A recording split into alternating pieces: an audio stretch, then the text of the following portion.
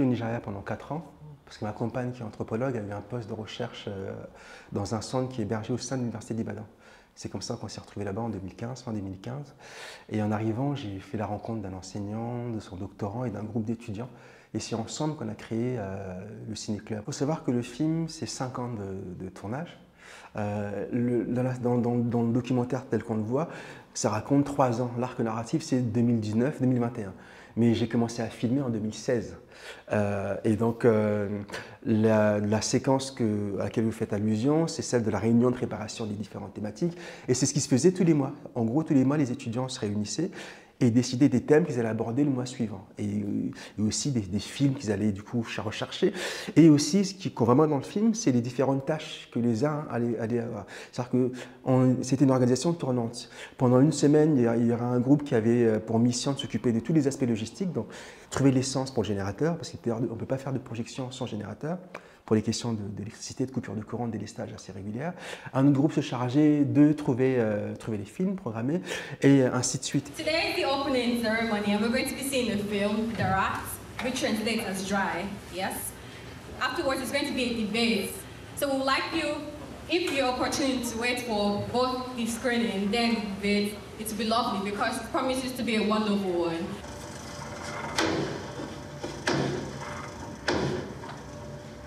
Ce que j'ai constaté, ce qu'on a réussi à faire collectivement, c'est de faire du cinéma un prétexte à la rencontre. C'est que ce qui était important, c'était le fait de se retrouver et parler. Et le cinéma permettait cette rencontre-là euh, parce qu'on apprend des choses autrement en voyant un film et on échange aussi sur euh, euh, une expérience commune. Donc ça, c'était ça qui était beau. Now, I would like to push it open to the outs and let us start suggesting teams and how we can um, we can make them come into reality. So teams for the year, basically suggestions on minority inclusion. minority inclusion. In, can you elaborate? Yeah, so that we can now. In terms of um, women rights, um, black Black Lives Matter, um, LGBT rights, and so on. okay. Intersectionality. Okay we should consider decolonization, we should consider yes. intersectionality, yes. and to some extent femininity. Yes. Feminism, we would say that. C'était un ciné-club féministe, alors, parce que les étudiantes étaient très impliquées à tous les niveaux sur les questions logistiques, d'organisation, euh, de recherche des thématiques, recherche des films, et évidemment dans la prise de parole. Euh, et parce qu'on a vraiment voulu, les étudiants qui sont euh, à la tête du ciné-club, ont voulu euh, avoir une organisation la plus horizontale possible. Il n'y avait pas de leader identifié, parce que justement, ça tournait, pour éviter euh, que le pouvoir soit capté par un, groupe d'individus. Et donc, c'est cette volonté de, tourner euh, en termes de, responsabilité, mais c'est aussi la volonté de rendre le ciné-club accessible à tous, donc c'était gratuit. Euh, il n'était pas nécessaire d'être étudiant pour là, même si dans la réalité il y avait 99% d'étudiants, mais n'importe qui pouvait venir voir les films. et comme ça, les règles étaient posées de manière à ce qu'une parole émerge sans peur de, sans qu'elle puisse porter à conséquence contre la personne qui parle. Euh, les questions, par exemple, de, de, de, genre, d'orientation sexuelle étaient abordées dans un contexte où l'homophobie est prévalente au Nigeria. Et c'était un lieu où justement la communauté euh, LGBT de la fac était, euh, et, parce que le ciné-club continue, était justement dans un endroit qui était un safe space où ils peuvent s'exprimer sans, sans peur de, représailles, sans peur d'être stigmatisés. Et, et ça, c'est la force du ciné-club, d'avoir créé un espace euh, inclusif et ouvert à tous, où chacun peut s'exprimer et justement créer des alliances avec d'autres, de manière à collectivement peser sur euh, le pays. Both films, especially the first one, there was a lot of benevolent sexism, and I'm starting, and I have a feeling I'm going to be hearing a lot of it in this room. So let me just get, let me get that out of the way. This conversation where you keep talking about how women help to oppress women, you need to get over it. Like you said, negotiation of power. Older women in particular have to subscribe to patriarchy to survive. Did you see in the second film how they referred to the mother of that boy? They called her a whore just for being single. And then they asked her, Do you live with someone? Meaning she's married, which means that there is a level, we all know this. If you are not in some way associated with a man, you're not considered La situation que je décris dans le film, c'est considérablement dégradé. C'est-à-dire que l'université Balances, c'est une université publique, euh, et il dépend des, financements de l'État. Euh, là, le nouveau pouvoir en place met en place une série, une série de mesures néolibérales et une qui concerne spécifiquement l'éducation euh, consiste à augmenter par 700 le, le, coût d'inscription à la fac et pour compenser cette, cette explosion des frais d'inscription propose une création d'une banque qui va prêter aux étudiants de quoi? En, gros l'américaine. Donc on endette massivement des étudiants pour un service qui lui n'a pas augmenté, n'a pas, ne s'est pas amélioré, euh, et, créant du coup une éducation à deux vitesses entre ceux qui peuvent s'endetter parce qu'ils sont solvables, payés, et ceux qui n'ont pas les moyens d'accéder au crédit, donc du coup qui ne pourront pas de leur pays étudier correctement. Between school and the system, I just want to make it clear. There's actually a scam somewhere. there's actually a scam somewhere. She says um, education is not a scam. That's correct. But say there's no scam at all, that's wrong. I smell a scam somewhere.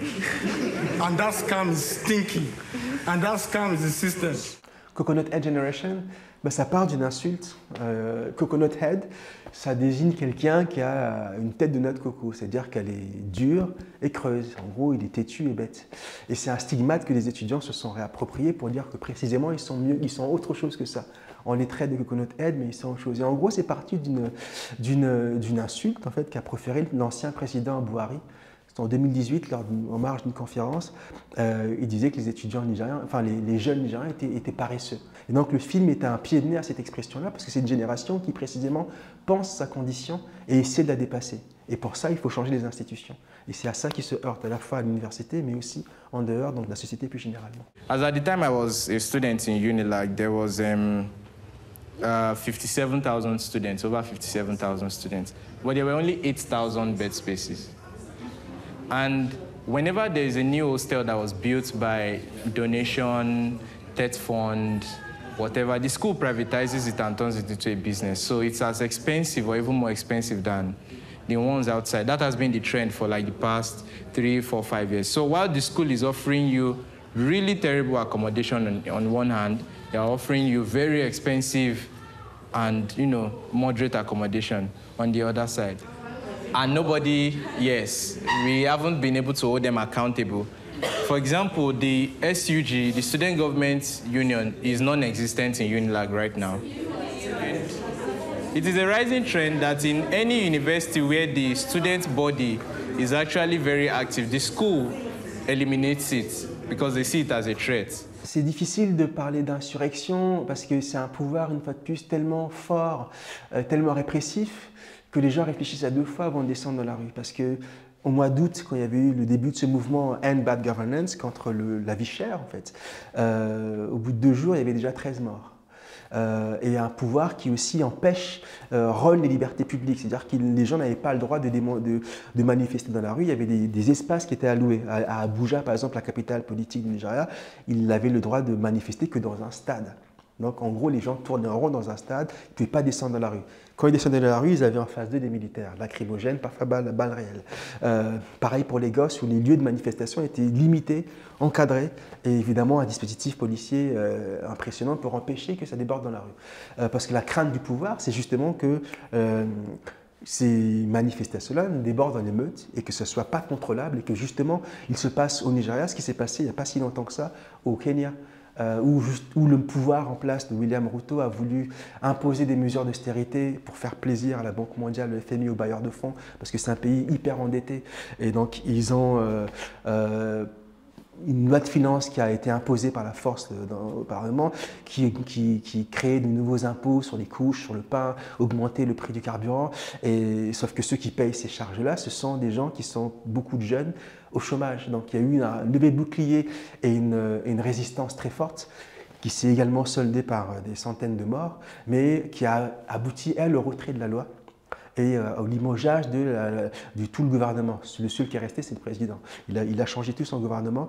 Et, ça, justement, c'était au mois de juin. Ça a donné beaucoup d'énergie aux Nigériens pour repartir dans la rue pour le mouvement euh, euh, End Bad Governance. Sauf que jusque-là, on n'est pas encore au scénario à la Bangladesh, là où justement c'est le gouvernement qui a sauté. Et là, des étudiants sont dans le cabinet du nouveau Premier ministre, là, Mohamed Younous, Youssouf, Younous.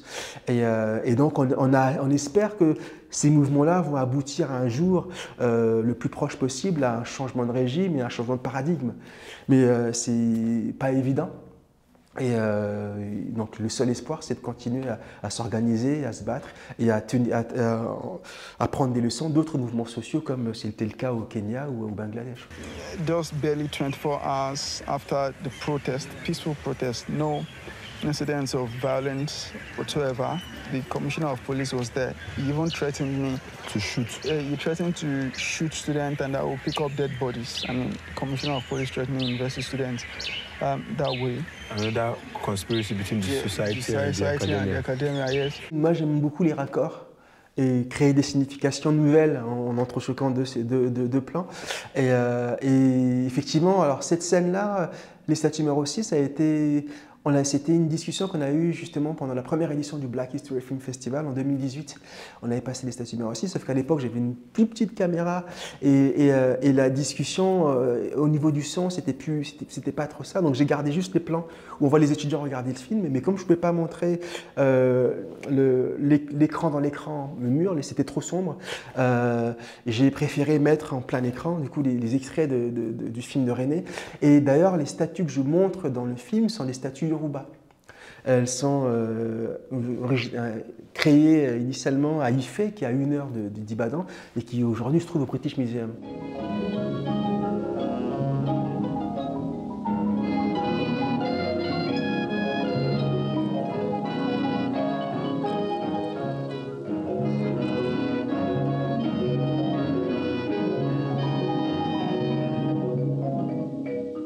Ces racines fleurissent.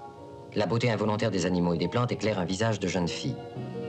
Et nous pouvons bien prendre sa lumière pour un sourire ou même son huile pour une larme et nous émouvoir, à condition de bien savoir que ces images nous ignorent, qu'elles sont d'un autre monde, que nous n'avons rien à faire dans ces conciliabules d'ancêtres qui ne sont pas les nôtres.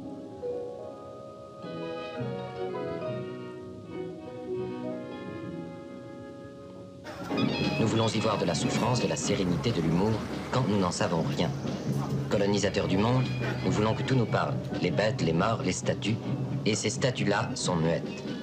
Elles ont des bouches et ne parlent pas. Elles ont des yeux et ne nous voient pas. Donc l'idée, c'était aussi de voir, de montrer une forme de continuité entre des statues qui perdent de leur, euh, de leur, euh, de leur force parce qu'elles sont captées dans, dans, dans, dans, un rapport de force coloniale et qui sont ici, et celles qui sont toujours là et qui rappellent euh, la vitalité d'une culture. Donc c'était ça que je voulais montrer comme parallèle et aussi l'inscrire dans l'espace de la fac parce que finalement, elles sont dans un endroit où les étudiants se, se reposent et discutent. Il y a un film qui me vient à l'esprit immédiatement, c'est le film de Payal Kapadia, Toute une nuit sans savoir. Euh, je l'ai vu pendant que je terminais Coconut Edge Generation. D'ailleurs, je lui ai écrit à Payal pour lui dire à quel point je trouvais son film merveilleux et elle m'a répondu, on a échangé un peu comme ça. Et, euh, parce que justement, c'est le pendant indien de mon film, dans une école de cinéma, des étudiants qui se battent contre la fascisation de leur école. Et, euh, donc, la parole, les actes, et aussi le pouvoir du cinéma, comme un espace de réflexion et de changement des imaginaires. La salle de cinéma, c'est un, lieu merveilleux parce que pendant longtemps, ça a été un refuge pour moi. Un endroit où, quand j'allais pas bien, j'allais voir des films.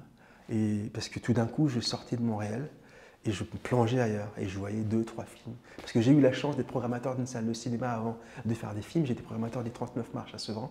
Donc mon métier consistait à voir des films en amont et pour les programmer dans ma salle. Donc je voyais, voyais, voyais, voyais, voyais beaucoup de films. Et, euh, le cinéma, c'est un lieu, c'est vraiment le mot qui me vient à l'esprit, c'est un refuge.